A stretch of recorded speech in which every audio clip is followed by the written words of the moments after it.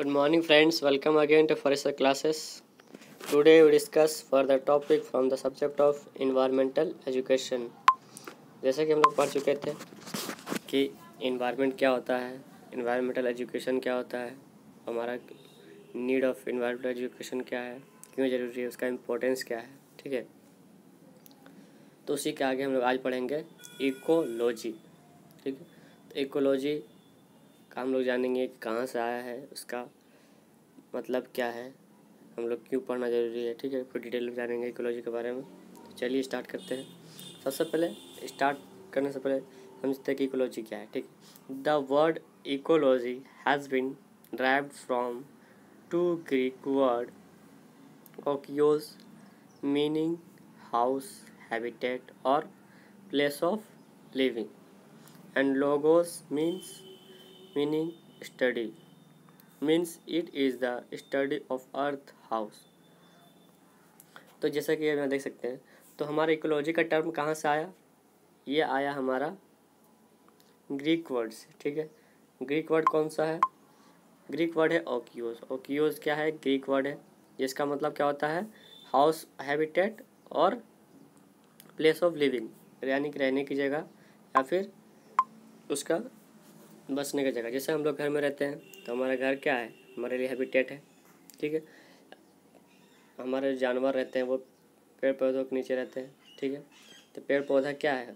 उस जानवर के लिए, उस एनिमल्स के लिए क्या है? हैबिटेट है प्लेस ऑफ़ लिविंग है, ठीक है? जैसे अगर मछली की बात करें, मछली क्या है? एक ऑर्गेनिज्म है एनिमल है, वो किसमें रहती है? पानी में। तो पानी क्या है? मछली के लिए एक हैबिटेट है प्लेस ऑफ़ लिविंग है, ठीक है? तो ये ऑक्यूज मतलब हो गया place of living and second word हमारा क्या है?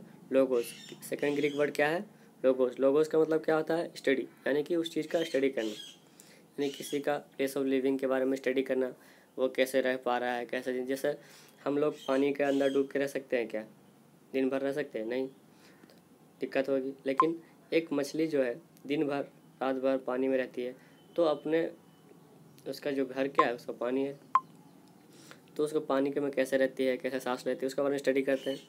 तो उस स्टडी को हम लोग क्या बोलेंगे? इकोलॉजी और उसके बाद अगर ओवरऑल देखा जाए, ठीक है ओवरऑल देखा जाए तो क्या है?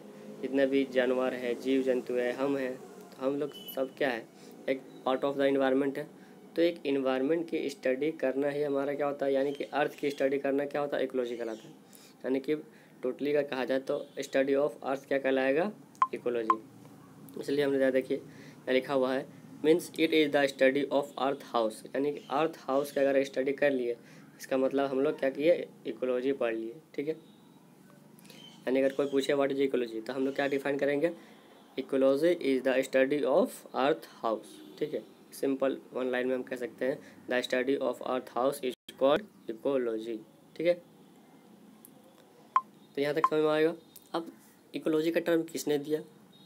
जैसे आपने पढ़ा होगा, मैथ का फादर कौन है, फिजिक्स का फादर कौन है, केमिस्ट्री का फादर कौन है तो इसी तरह इकोलॉजी को देने वाला कौन है, इसका पिता कौन है? तो इसको देने वाला, देखिए term ecology was coined by Ernst Haeckel इसका जन्मदाता कौन है? अर्नस्ट हैकल ठीक है? इन्हें कब दिया था? 1869 में, यानी कि अठारह सौ उनहत्तर में अर्नस्ट हैकल साहब ने इकोलॉजी के बारे में लिखा था और अच्छे से उसको एक्सप्लेन किया था, ठीक है? उसके आगे बात करें तो इकोलॉजी को हम क्या कर सकते हैं? दूसरी तरह से भी डिफाइन कर सकते हैं। कैसे? देखिए ecology can be defined as the study of living organism like plants and animals in relation to each other and the non living environment both of them are in the dynamic equilibrium with each other तो अगर दूसरी तरह का देखा जाए तो हम जैसे मैंने कहा कि overall overall study of earth करते हैं। तो अर्थ में क्या होता है? लिविंग ऑर्गेनिज्म होता है नॉन लिविंग होता है, उसका रिलेशन होता है, ठीक है? तो हम क्या है? हम डिपेंडेंट है, पेड़, पौधे पे पेड़, पौधे डिपेंडेंट है हम पे, ठीक है? ऑक्सीजन देती है वो कार्बन डाइऑक्साइड लेती है, ठीक है? तो हर चीज़ एक दूसरे से क्या है? इंटरकनेक्टेड है, ठीक है? तो एक दूसरे से क्या है? इंटरकनेक्ट कनेक्शन बहुत ज़रूरी है। एक दूसरे पर डिपेंडेंट है, ठीक है? अगर हमें चावल नहीं मिलेगी तो हम क्या है भूखे रहेंगे? तो वो क्या है? हम एक दूसरे से क्या है? इंटर कनेक्टेड है। तो इन्वायरमेंट में जितने भी लिविंग नॉन लिविंग का, उसका रिलेशन उसका इन्वायरमेंट का, ठीक है? डायनेमिक इक्विलिब्रियम होना ज़रूरी है, ठीक है? इक्विलिब्रियम मतलब कोई चीज़ ज़्यादा हो जाए तो भी दिक्कत होती है, कम होता है तो भी दिक्कत होती है। जैसे अगर पोल्यूशन ज़्यादा हो जाए तो क्या होता है? ग्रीन हाउस इफ़ेक्ट होता है, ग्लोबल वार्मिंग होता है, ठीक है? अगर ऑक्सीजन बहुत कम हो जाए तो क्या होगा? सांस लेने में दिक्कत होगी दूसरा बहुत सारी बीमारियाँ उत्पन्न होगी, ठीक है? तो ये सारी बातें तो इसलिए इक्विलिब्रियम होना बहुत ज़रूरी है, ठीक है? तो यहाँ पे देखें the study of this inter dependence and inter relationship is called ecology तो यानी कि ओवरऑल लिविंग नॉन लिविंग और उसके डायनेमिक इक्विलिब्रियम की स्टडी और उसके इंटर डिपेंडेंस उसके इंटर रिलेशनशिप के बारे में जो हम लोग स्टडी करते हैं, उसको क्या बोलेंगे? इकोलॉजी ठीक है फ्रेंड्स तो इकोलॉजी बहुत ज़रूरी है। हर चीज़ की स्टडी करना। जैसे अभी आप अगर जाओगे कहीं पे जू घूमने के लिए तो वहाँ पे आपको एक नई नई प्रजाति के पक्षी जीव जंतु एनिमल्स मिलेंगे, ठीक है?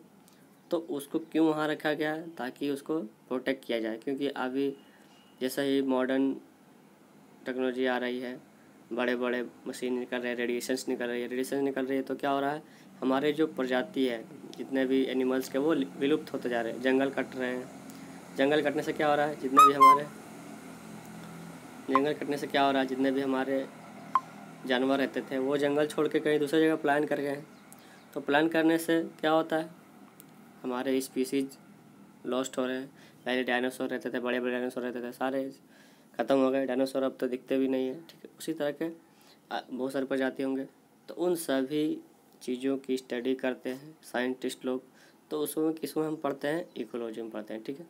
तो I hope you get understand better तो इसी तरह की वीडियो और देखने के लिए लाइक करते रहिए शेयर करते रहिए और सब्सक्राइब ज़रूर कीजिए फ्रेंड्स ताकि मैं इसी तरह की अच्छी अच्छी वीडियो आपके लिए बना सकूँ। थैंक यू फिर मिलेंगे अगले वीडियो में नए टॉपिक के साथ, मज़ेदार टॉपिक के साथ। ठीक है? Thank you